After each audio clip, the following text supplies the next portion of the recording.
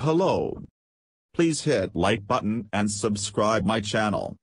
Also press bell icon for future video notifications. Thanks.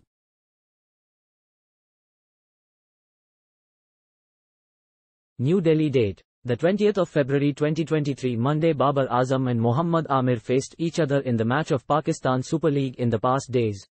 This match was played between Karachi Kings and Peshawar Jalimi.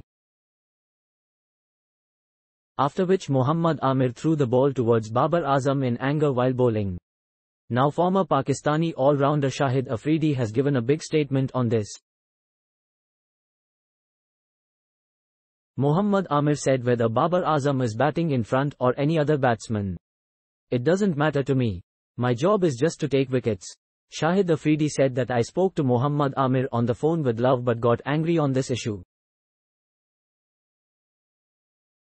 I love such things. He said that my main task is to take wickets.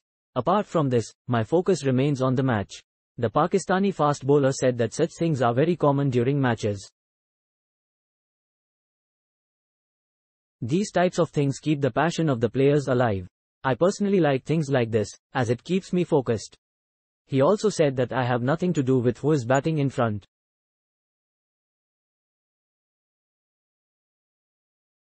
Thanks for watching. Please subscribe for more sports updates.